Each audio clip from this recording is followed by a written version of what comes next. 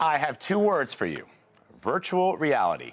It is taking over the tech world, and we are getting a first hand look from CES 2016 in Las Vegas. And joining me now to talk about all this is Lindsey Turrentine. She is CNET editor in chief. Hey, Lindsey. Hi, how's it going? Good, good, good. So listen, virtual reality is huge for 2016. You got a chance to see the HTC Vive. What does it do and what is it? So this is a headset. It's kind of like all the virtual reality headsets you've probably seen. It goes across your face and immerses you in video and you turn your head and you can see what's going on. It has hand controls so you can put your hands in the action.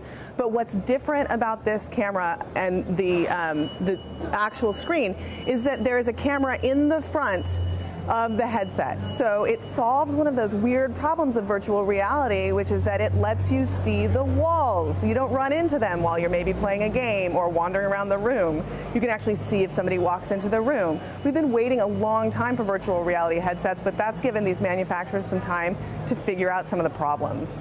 Wow, that's pretty cool. Uh, and so the other big uh, news or the other big technology that is being introduced at CES, we've seen some 100 drones that are coming out. So, what are you seeing in the drone department? so many drones. It's early in the show. This is press day. We're going to see more. But the most interesting one so far is called the Parrot Disco. And the reason it's interesting is that it's not a quadcopter. It doesn't it's not like a helicopter style drone.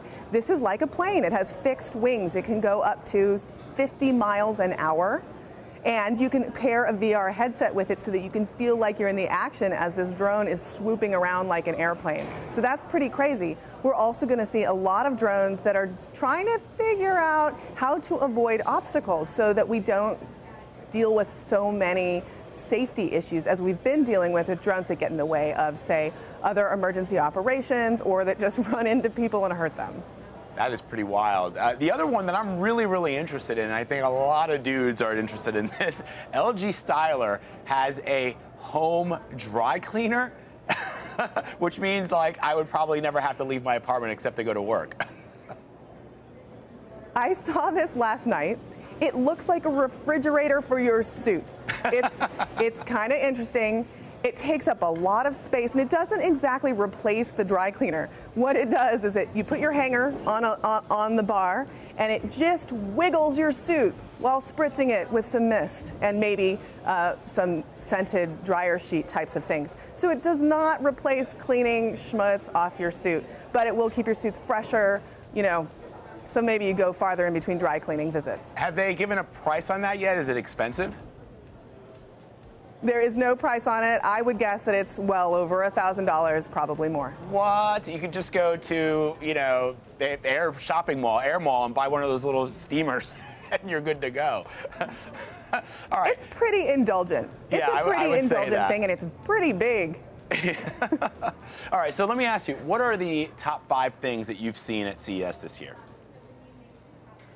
Well, I love that drone that we talked about. I also love the crazy new refrigerators that are coming out. Like instead of buying a dry cleaning operation that looks like a refrigerator, just buy a refrigerator that does some really cool stuff. There's one from Samsung that's coming later in the show that has a camera inside that constantly updates and takes a picture of your food every time you close the door so that if you're in the grocery store, you can say, What do I have in there? And actually recall that last picture. And then it also works with Instacart so that you can order things automatically when you run out. So that's pretty cool. And then there's a fridge from LG that when you walk up to it, it has a sensor. It can actually change the door to be clear. It's solid until you walk up and then it's clear so that you can see what's inside without opening the fridge. And then kind of like some of those cars where you can put your foot under the tailgate and the rear hatch opens, you can actually swipe your foot along the bottom of the refrigerator and the door opens. You so know, cool. I mean, that sounds really, really cool. But I mean, already I'm like the fact that you could see all the food in your refrigerator if you're sitting on the couch and you're watching a football game or something and you just glance over and you see like the frozen pita pockets and you know I, I that would be really really a problem for me I think It's only clear if you want it to be. It's only clear. But you do, I think you probably have to keep your fridge a lot cleaner. It could be pretty gross.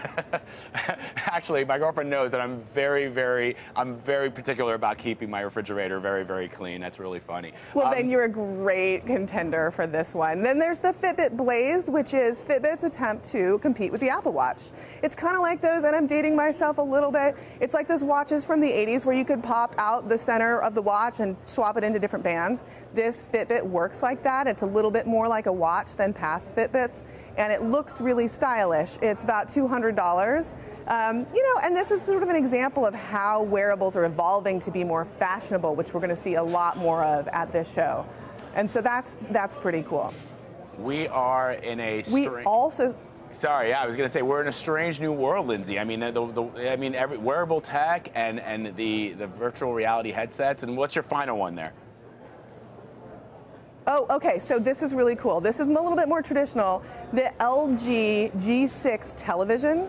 Uh, this is LG's highest end television, and we at CNET have always thought that uh, over the past year or so, LG has had by far the best pictures. So this is their OLED high end television. But what they're doing now is applying the display straight onto glass. So the TV is 2.57 millimeters thick. It is the thinnest thing you've ever seen. It's also crazy expensive. They say it's going to cost less than $10,000. Our experts think that probably means $999,000, $999. Wow, wow. It's wow. going to be expensive. Sounds Yeah. cool, but yeah, probably out of my price league. Uh, uh, I got it. You know, uh, listening to you talk and looking at all these images, I mean, the world of Philip Dick. Remember the writer Philip Dick? Do androids dream of electric sheep? This Yep. is the world we're living in right now. It absolutely is, and it's just going to get crazier. So come on back to CNET for the rest of the show. There's a lot more tech that's going to be announced over the next two days. all right, Lindsey Turrentine, editor in chief of CNET.com. Thank you so much for joining us. Enjoy CES. Thanks, Vlad.